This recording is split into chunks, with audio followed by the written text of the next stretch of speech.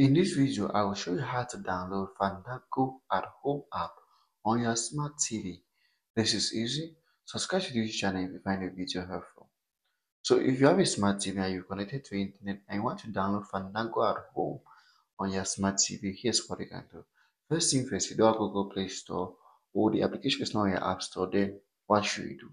Use the application called Downloader, which is an intermediary application that's going to help you search for any APK from the internet and download to your smart TV. If you don't have downloader, check the description of this video. There is a link there to get downloaded to your smart TV. After getting the downloader, you launch it and here's how the interface looks like.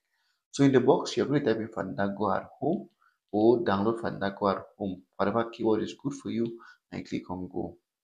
Once you click on go, downloader is going to show you these various resources to the internet to get the application. And if you scroll down a little bit, just scroll down to see which one works.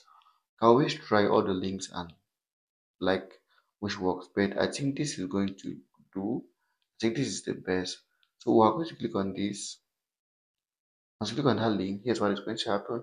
It's going to bring us to a web page of google play.